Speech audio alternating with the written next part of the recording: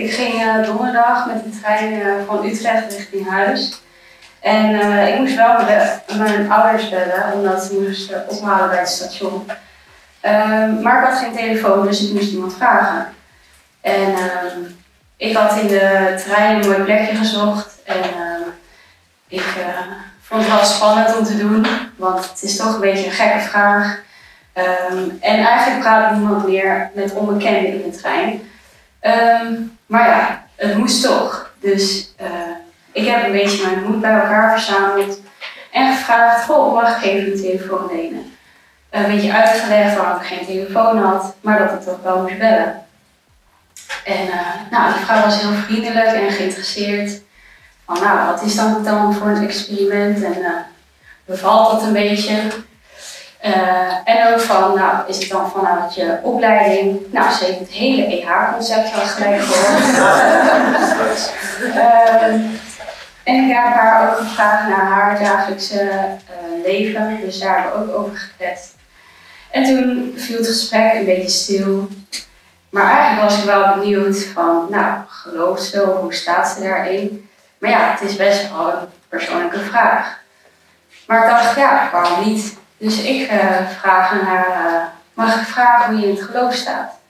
En uh, ze gaf best wel duidelijk antwoord, ik geloof niet, niet in een God, niks na de dood. Ik dacht, oké, hoe moet ik hierop reageren? Maar ik dacht, we hebben geleerd over getuigen zijn, dus dat ga ik dan maar doen. Dus, dus ik zei, nou, als ik het moeilijk heb, kan ik altijd naar iemand toe gaan om het daar aan voor te leggen. Dus toen vroeg ze, wie is die iemand dan voor jou? Nou, mooie vraag.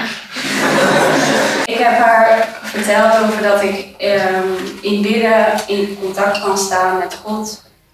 En dat hij mij altijd begrijpt, dus dat ik dat altijd heel uh, fijn vind. En verder was ze ook wel uh, geïnteresseerd in, nou, ben je al van kind, af aangelovig en ga je naar de kerk?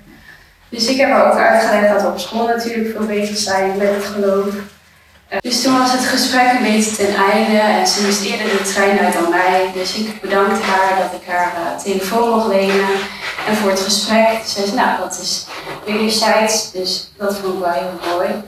Dus mijn ervaring is eigenlijk dat je zonder telefoon of als je hem een keer weglegt, dat je dan een stuk socialer bent, in contact kan komen met mensen en dat God je wellicht op, juist op die momenten ook uh, kan gebruiken om een zaadje bij anderen te